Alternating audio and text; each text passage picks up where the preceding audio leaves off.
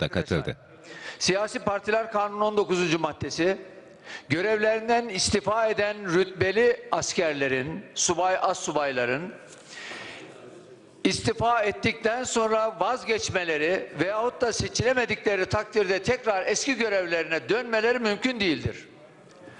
MİT müsteşarı da bunun içerisinde yoktur ama aynı hüviyeti taşıdığı için resmi çok resmi bir görevi deruhte ettiği için bu görevinden bir siyasi parti adı anarak ayrılmış olması sebebiyle artık tarafgirliğini yitirecek bir nitelik kazanmıştır.